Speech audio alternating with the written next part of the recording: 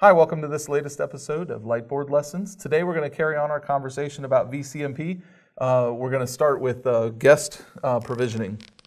And so, you know, you, the, the provisioning is incredibly flexible. You can have, say, your, let's do a Viprion. You can also do chassis based, but, uh, but let's say we have Viprion here and we have uh, four C, CPU on this one, on this blade. That's a lot of drawing. I probably could have done that before we got started, but uh, it is what it is. So the flexibility is pretty incredible. You can you can create a single.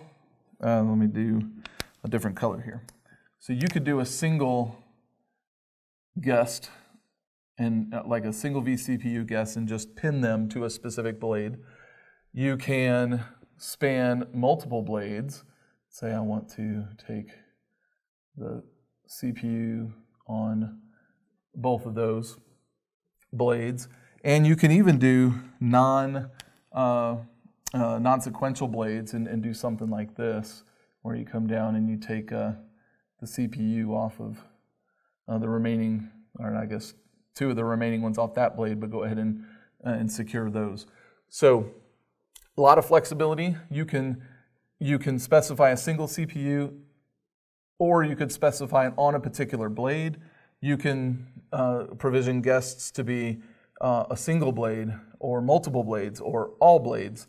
And the, benefits there from a standpoint of a system, maybe, maybe this blade doesn't exist in the system and but you have configured, um, well, in that configuration it wouldn't be because I've already used up all those guests. But say that doesn't exist, I'll, I'll go with green here, and uh, and this blue is gone, and say that I've specified, you know, guest one to be all blades, and and I have this pink one, you know, this CPU um, on, on these three blades and uh, pretend the blade four isn't here yet.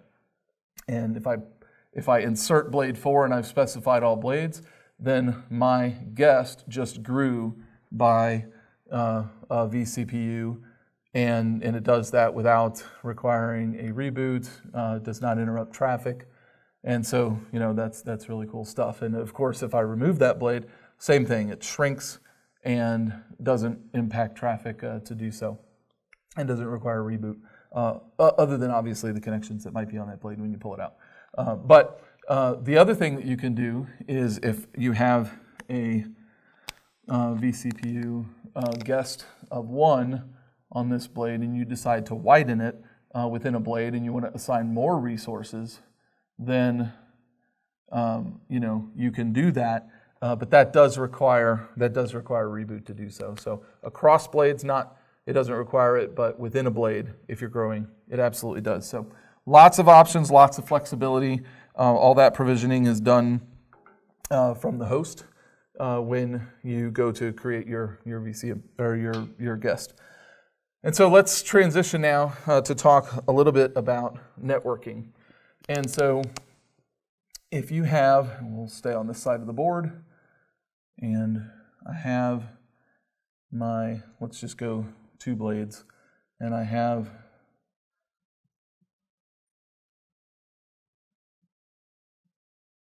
my gear here, and say I have a guest taking up this vCPU and a guest taking up this vCPU, and maybe I have a, a three and then a one.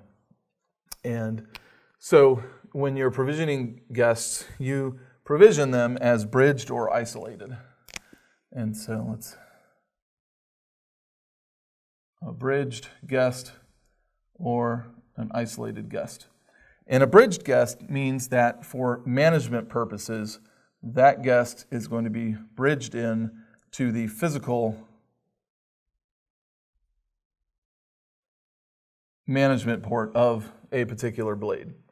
And, and so uh, that guy is going to share that Mac, um, I mean that, that uh, management port. So um, the, the management port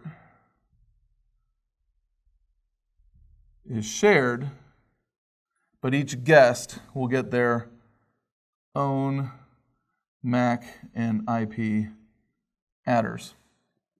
And it's um, important when you're configuring these, whether you're bridged or isolated, uh, that you configure your cluster member IPs on your management port. So in the config screen, each slot, you configure a cluster member IP. If you don't do this, you could have communication issues uh, with the, the SOD daemon, and so really important to configure that. And then uh, from an isolated standpoint, for one of these that is isolated, obviously it's not going to connect into the management port at all. So you have to use vconsole to configure a self IP on that guest in order to get access to it to provision it and all that. And so, so an isolated um, uh, guest means it is isolated. It's not going to be communicating, at least on the management network, between uh, other guests. And depending on how you do your uh, layer two stuff, uh, will determine uh, how further isolated they are uh, from a networking perspective on the, the data plane. but the, the control plane, an isolated one means it's isolated. Good, good terminology there. Um, and then we have within networking, uh, you have the, the host versus guest. And in the first video, we talked about you know, what, what the host controls and what the guest controls. Uh, but I just want to reiterate here that, um, and let's, uh, I don't know what color I was using, but we'll go back to this one. Okay, so all layer two um,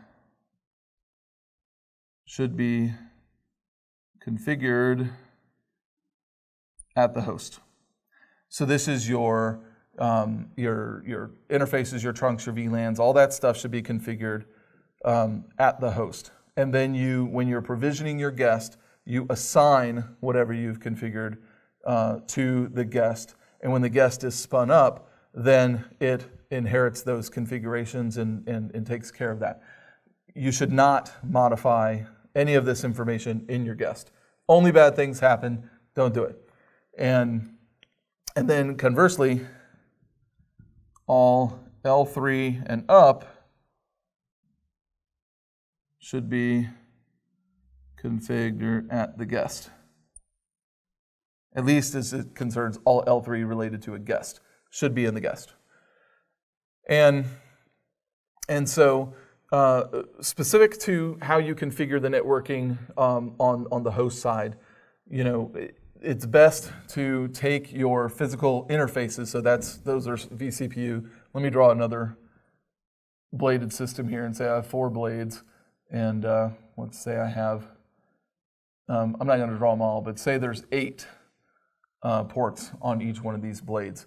You know what I can do is I can take uh, two interfaces from this one. So this is like 1 slash 1.1 and 1 slash 1.2. And then this one would be uh, 2 slash uh, 1.1 and 2 slash 1.2 and so on. And then I could take all of those interfaces and wrap that into a trunk.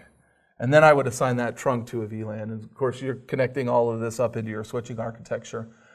But it, when you're configuring your trunks, that gives you resiliency if one of these should fail, if a blade should fail, if an interface should fail. That gives you resiliency within, within your networking, your physical networking configuration. And uh, it, you want to do this in powers of two, so you know it's two, four, eight, and so on. Uh, and and doing so, uh, you know, avoids uh, traffic skew on any one particular path, uh, independent of what hashing algorithm you select. Uh, if you go outside of the powers of two rule, then you know you start to see some weirdness there. And then finally, on the networking thing, before we switch over to talk about HA, is you want to create a dedicated HA VLAN. Okay, uh, it's a best practice to do so. And, and now uh, let's talk about HA a little bit, since that's a nice little transition there. Uh, best results, uh, particularly when you're using uh, your connection mirroring, is to make sure that your guests are set up between the, the same slot numbers and, and CPUs. So, for example, if you've got your chassis here uh, with, I'm going to end up drawing like 15 of these. Uh, but you have your other chassis, and you're doing HA between guests. And you don't do HA within a chassis, you do HA between chassis. And the chassis themselves do not do HA. They should not know about each other, really. It's, uh, it's guest to guest. So if I have uh, this guy and this guy is, is my guest, then uh, for, for best results, you would then also kind of provision on this side, and these would become your, uh, you know, your HA pair. And so your, your guests, you treat them like any other standalone LTM appliance. You want to set up your device trust with the peer, set up the, your device group with your peer. And the guests will have access to the VLANs assigned by administrator. I know people, in fact, I just saw a question in the forum today about, hey, this chassis was set up with these VLANs, this chassis was set up with these VLANs, and so now I'm trying to set up HA. When it fails over, it doesn't work because the VLAN names are not the same and it's complaining. So, you know, setting up your uh, your VLAN nomenclature up front for HA is, is, is pretty uh, important and critical. And then uh, HA groups and VLAN failsafe can be configured at the guest level. And let's talk a little bit about HA groups. Uh, that is, you know, for failover between your peers, you can use load aware failover, you can use ordered lists, but HA groups is uh, is another option. and It's a good option. It's um, and an HA group is a set of trunks, pools, clusters, or any combination of that that a guest administrator uh, can create and associate with a traffic group. So the, the most common reason to use one is to ensure that failover is triggered when some number of trunk members become unavailable. And, and that comes back to you know, setting up your infrastructure in a trunk way. Best practices on HA groups, uh, check out solution 16947. And uh, so very very high level breakdown of, of all these things. Of course, we have great details in our in our product documentation for for Viprion and for VCMP. So check out the, the product manual, and I'll link some other solutions down here in, in the comments. So thank you for joining. And if you enjoyed this video, click subscribe. We'll see you out there in the community.